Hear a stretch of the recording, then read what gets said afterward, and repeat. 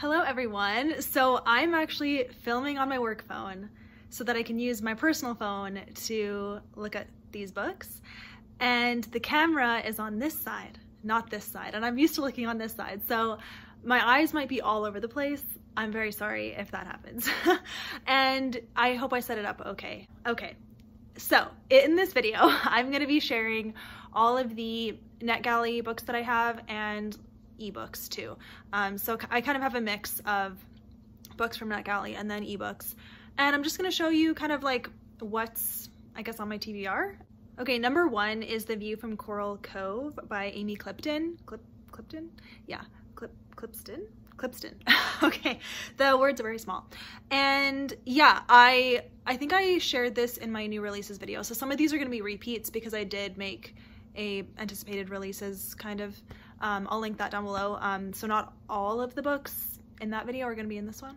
Anyway, yeah, I'm thinking of reading this soon. It follows a, a mom and her son, which actually isn't my favorite trope. I don't actually like it when one of the love interests has a kid, but, and yet there are some books with that that I like. So anyway, it's not like a seller for me. So this one, yeah, they moved to like a small beach town or something and I think her old crush is there as well and it's something like that. I, I really like the cover of it and I just am interested so that's one. Okay the next one is Edge of Dusk by Colleen Coble. Um, I want to wait to read this until I've read um, Distant Echoes by Colleen Coble and just because I don't know this is the start of a new series for her so I I don't know. I, I still don't know if I like her books yet because I haven't read one. Um, I'm gonna start Distant Echoes very soon though um, with Chloe so I'm excited about that. And that's all I have to say. I don't know anything about it. Okay next I do have Relative Justice as an ebook.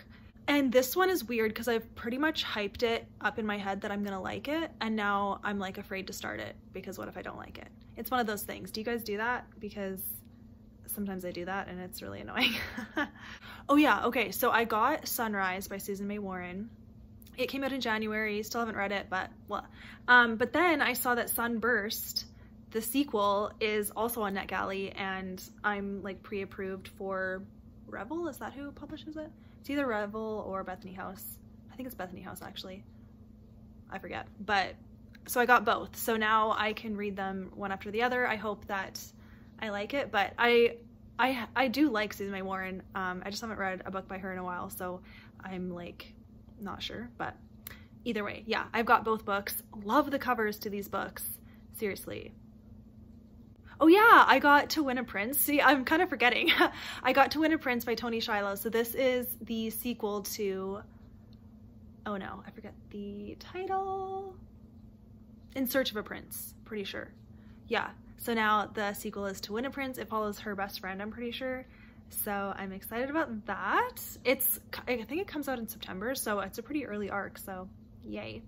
Um, one that I'm really excited about is I got The Record Keeper by Charles Martin. So this is the third book to the Waterkeeper trilogy. I'm pretty sure it's just a trilogy. So this is the first book and I recently showed the second book uh, in a haul and now I do have the third book as a, an ebook so that works.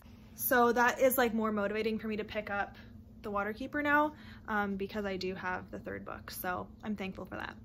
So those are my NetGalley books. I really try to not have a lot checked out because, you know, because it's not like the library where you can check things out and just return them and never read them. With NetGalley, they expect a review. So if you request a book and then don't end up wanting to read it, then it like contributes to your score and you want to give good reviews anyway. So I try to like be smart with what I request if I actually want to read the book. So on to the ebooks that I have. So the first one is in my Kindle app as well, and I don't even know how it got here.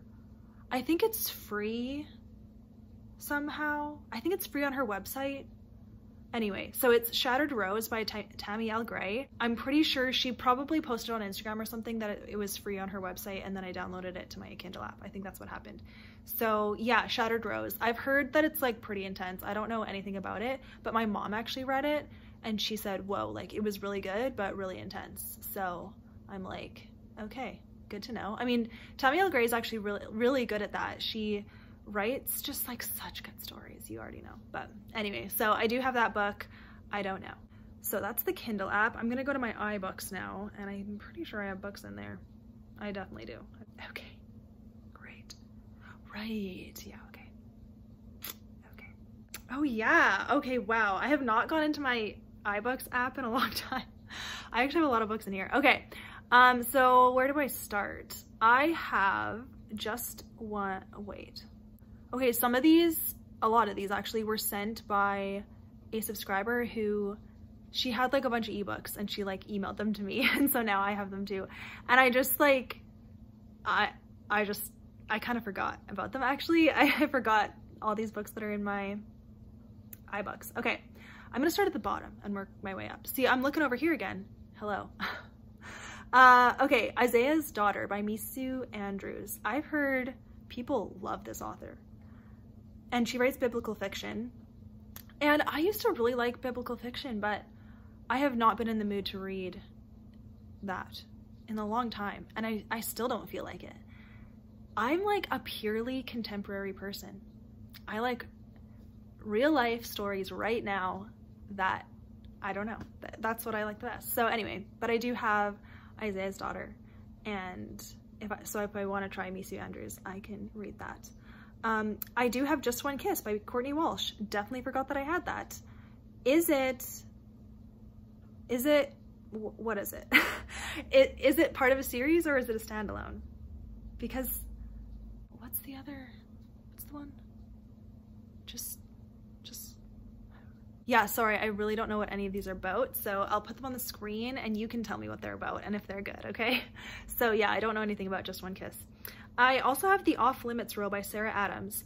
Sarah Adams, I'm not sure that she's a Christian author, but I've heard that her books are clean and they're really great romances. So I have The Off Limits Rule.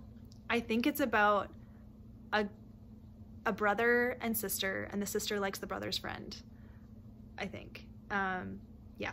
I also have The Truth Between Us by Tammy L. Gray, and I know that this is a sequel to another book, and I can't get my hands on the first book, so I just haven't read it. But I do remember having this. It's the something something. Okay, I can't read it, but yeah. Okay, also, I have a couple Roseanna M. White books. Will I ever read these? I don't know. But I have A Song Unheard, and An Hour Unspent. I think they're in the same series, but I don't know what series. and then I have A Name Unknown as well. Oh, is that the first book? A Name Unknown, A Song Unheard, An Hour Unspent. They sound pretty similar. I don't know. I might be reading A Name Unknown because it has books on the cover and one of Chantal's prompts, I think for June, is a book on the cover. And I was like struggling to find a book with a book on the cover and A Name Unknown has one, so if you're struggling, check it out. I also have To Dwell Among Cedars by Connilyn Cossette. That's another author that people love. Never read by her though. Um, I think she writes biblical fiction as well. And I don't know, I just always choose contemporary over anything historical, so yeah.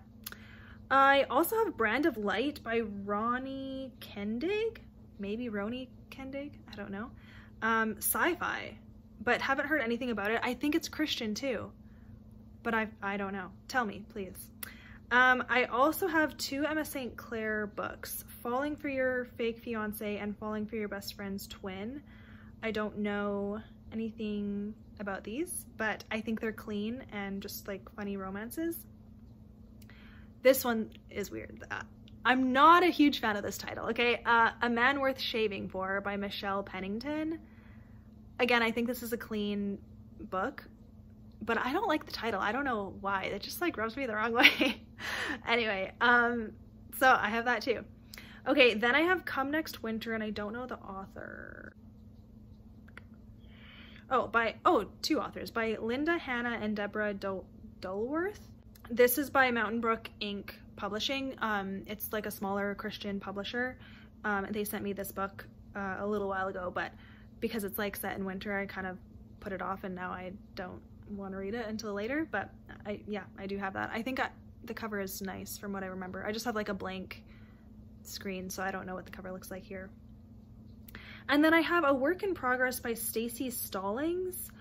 this I think is a Christian book as well and my mom read it and recommended it and it was free on something so that's how I got it. Yeah so those are my ebooks on my iBooks app. and then really quickly I'll tell you what I have checked out on Libby. It's literally one book and it's you guys already know about it but I have Distant Echoes checked out because um, I'm going to start it fairly soon and um, yeah so I have that. So those are all of the ebooks that I have. Um, when I'm reading an ebook I read it on this phone. It's super easy. I just whip out my phone and read a couple screens and it, I, I do that all the time. It's really easy for me. I really like having an ebook on the go because then like when I'm at work and I'm on breaks and stuff, I just like read on my phone and in bed. I read on my phone on in bed a lot and I'm more likely to try a book that I'm not sure about on ebook because I tend to read ebooks faster because it's like such a quick scroll and because the screen is smaller it's like less space for my eyes to travel on than like a book, you know? And I think I read it faster. I don't know. Um, it's also easier to skim, not gonna lie, you know. I'm a skim reader, so not always, but sometimes. And uh, yeah, also this picture. Oh, right. I took this at work. We have beautiful trees at work, and so I took that picture. And my lock screen is, ah, the ocean. When I was uh, on the ferry, remember that ferry story? Did I tell a fairy story recently? Anyway, um, that is a picture of the ocean on the very, okay.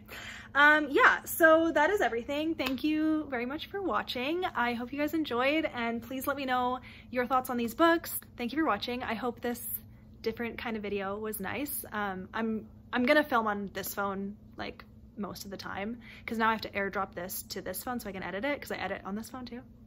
Anyway, do you care? Yes, maybe.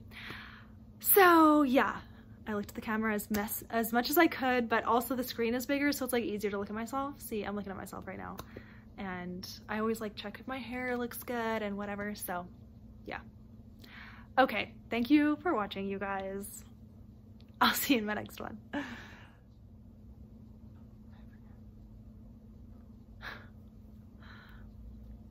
Okay. Um, I'll start with NetGalley because I just will. So.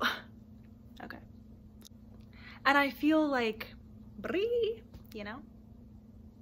And I'm looking over here when I should be looking over here.